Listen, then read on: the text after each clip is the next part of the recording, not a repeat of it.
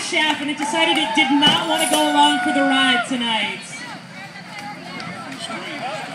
All right, if you uh, you brought your tools with you, you can fix that real quick. Maybe we'll let you pull, but uh, right now we gotta get somebody else up there. What happened?